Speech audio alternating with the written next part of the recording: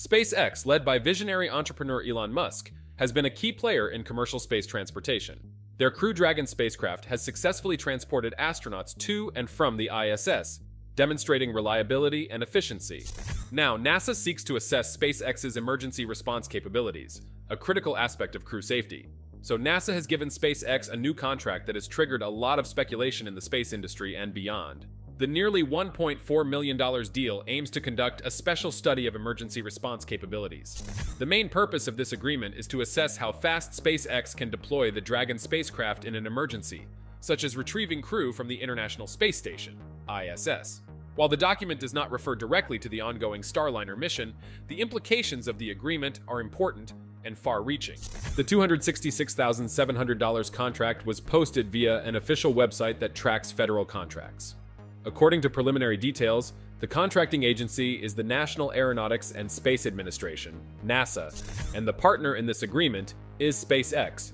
Given the relatively modest amount, especially compared to other industry contracts, the purpose of this agreement appears to be a focused study rather than a full operational measure. The main objective is to determine how quickly SpaceX can launch the Dragon spacecraft in emergencies, such as retrieving crews from the ISS, the deal's low price tag compared to normal crew-related flights and capabilities provides some insight into the nature of the work involved. Rather than adding physical changes or new hardware, this study will likely consist of extensive paperwork, simulations, and calculations based on SpaceX's existing hardware and its capabilities. This suggests that NASA is exploring a theoretical framework for estimating response times in various emergencies without immediate plans to implement new infrastructure or equipment. The idea that the deal relates to the Dragon spacecraft is currently speculative but well established. SpaceX's Dragon spacecraft is a logical candidate for such emergency response studies because of its current capabilities and NASA crew-related targets for the future. While the agreement does not explicitly state that it relates to Dragons, the conclusion is reasonable given SpaceX's track record and ongoing missions involving the Dragon spacecraft. Let's delve deeper into contract outline's specific objectives. SpaceX will meticulously evaluate the entire process leading up to a Dragon spacecraft launch in emergency scenarios. This includes pre-launch procedures, which ensuring that all necessary checks, verifications, and safety protocols are efficiently executed before liftoff.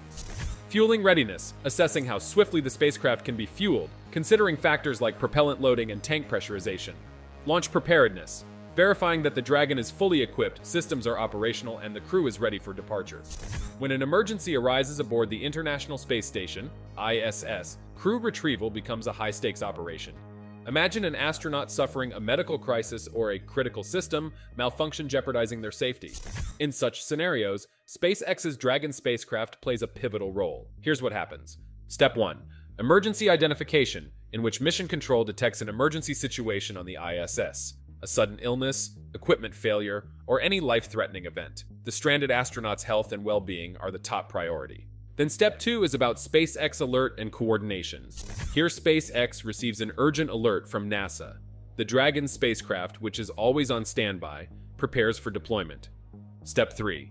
Launch readiness. SpaceX engineers ensure the Dragon is fueled, systems are operational, and life support functions are functioning optimally. Calculations for the optimal trajectory to reach the ISS are refined. Step 4. Rendezvous and docking. The Dragon launches and maneuvers toward the ISS, Precise orbital mechanics come into play as the Dragon aligns with the station. Docking mechanisms engage, and the Dragon securely attaches to the ISS.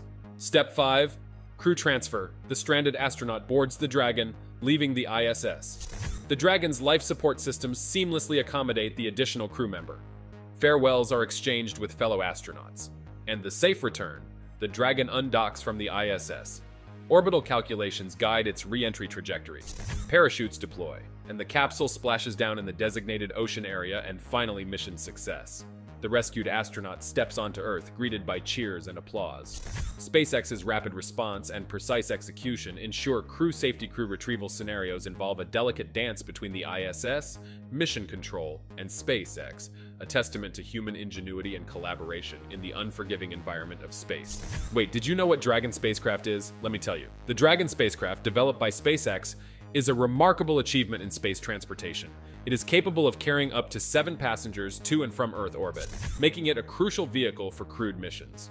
Notably, Dragon is the first private spacecraft to transport astronauts to the International Space Station, ISS, marking a significant milestone in commercial space travel. Its versatility extends beyond crew transport.